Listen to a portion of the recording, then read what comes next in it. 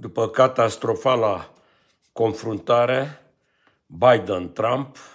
o treime dintre democrați îi cer președintelui în exercițiu al Statelor Unite să se retragă din cursa pentru un nou mandat. Iar alții îi cer să, insistent să facă un test cognitiv. Uh, refuză testul cognitiv, uh, deocamdată refuză să se retragă,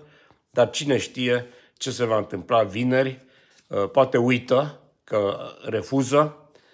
și vineri când are o conferință de presă, prima după catastrofala întâlnire cu Trump, s-ar putea să anunțe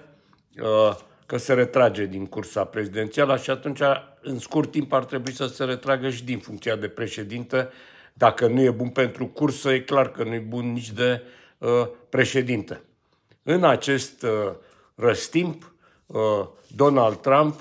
dă acatistă, rugându-se ca nu care cumva uh, Biden să fie retras din cursă, că cine știe s-ar putea să vină un candidat mai competitiv uh, care să-l învingă în alegeri, deși e cam târziu, pentru că sponsorii au alocat deja sume importante de bani pentru această competiție și este greu, dacă nu cumva imposibil, ca toate aceste sume să poată fi transferate către succesorul eventual al lui Biden în cursa prezidențială.